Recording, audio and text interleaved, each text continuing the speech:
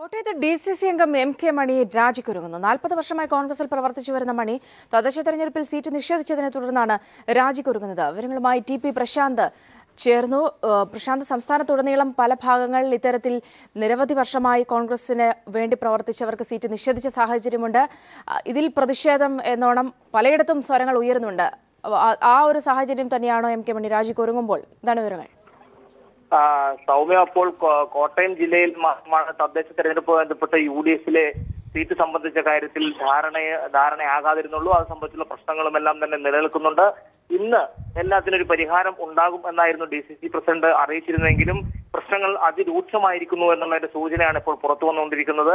കിടങ്ങൂർ പഞ്ചായത്തിലെ പതിമൂന്നാം വാർഡിൽ സീറ്റ് നിഷേധിച്ചതിനെ തുടർന്നാണ് ഡി സി സി അംഗമായിട്ടുള്ള എം കെ മണി രാജിക്ക് ഒരുങ്ങുന്നത്. ഏതായാലും അദ്ദേഹം പതിനൊന്ന് ഹരയോടുകൂടി രാജി പ്രഖ്യാപിക്കുമെന്നാണ് അറിയാൻ സാധിക്കുന്നത്. കഴിഞ്ഞ നാൽപ്പത് വർഷക്കാലമായി കോൺഗ്രസിന്റെയും ഐ എൻ ഡി സിയുടെയും സജീവ പ്രവർത്തനമായിരുന്ന ഇദ്ദേഹം പത്ത് വർഷമായി ഡി സി സി മെമ്പറാണ്. ഇദ്ദേഹത്തെ സീറ്റുമായി ബന്ധപ്പെട്ട കാര്യത്തിൽ പരിഗണിച്ചില്ല എന്നുള്ള തർക്കം നിലനിൽക്കുന്നു. മാത്രമല്ല ഇപ്പോൾ ഇപ്പോൾ ഏറ്റവും പുതുതായി ലഭിക്കുന്ന മറ്റൊരു വിവരം വാഴപ്പള്ളി പഞ്ചായത്ത്. ചങ്ങനാശ്ശേരിക്കടുത്തുള്ള വാഴപ്പള്ളി പഞ്ചായത്തിൽ മണ്ഡലം പ്രസിഡന്റിന്റെ വീടിന് മുന്നിൽ ഉപരോധം നടക്കുന്നു. അതും സീറ്റ് നിഷേധത്തെ തുടർന്നാണ് ഇത്തരത്തിൽ വലിയൊരു തരത്തിൽ കോൺഗ്രസിലേക്ക് പൊട്ടിത്തെറിയിലേക്ക് പോകുന്നു. അതിന്റെ അനുരണനങ്ങൾ സംഭവിച്ചുകൊണ്ടിരിക്കുന്നു. ഇവിടെ കോൺഗ്രസിന് ഇപ്പോഴും ആരാണ് അവരുടെ സ്വന്തം സ്ഥാനാർത്ഥി എന്ന് പ്രഖ്യാപിക്കാൻ പോലും കഴിയാത്ത ഒരു സാഹചര്യമാണ് ജില്ലയിൽ നിലനിൽക്കുന്നത്.